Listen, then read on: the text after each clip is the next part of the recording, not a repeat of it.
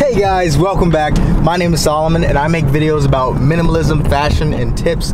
Yes, I am currently driving right now, but I am not holding my camera. My beautiful wife is. So today we will be talking about my two favorite wallets. So the first one is my Louis Vuitton pocket organizer. And the second one is the Herschel Charlie wallet. So I use both of these wallets on occasion, but my favorite one by far is the Louis Vuitton one as you probably already guessed.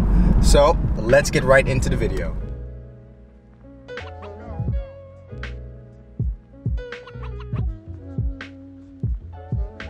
All right, so let's get started.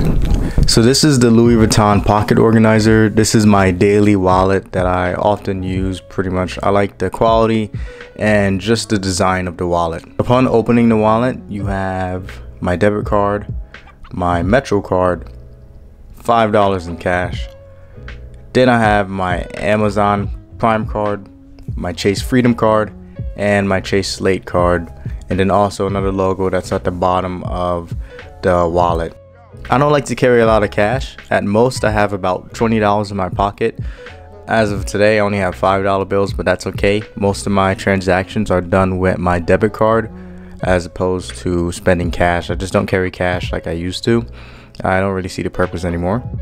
On the outside of my wallet, I have my license and then this uh, PBA card. So this is the Herschel Charlie wallet. If you're looking for a budget option, I recommend going with this. The design is sleek. It has about four card slots and one top slot where I put cash in. Um, I got the previous wallet as a gift, so I didn't really have to spend money on that one.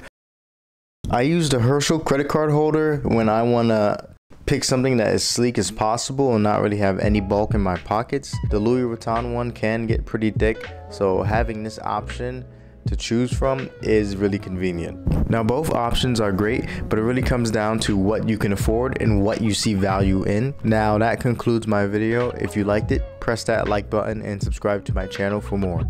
Thank you and see you next time.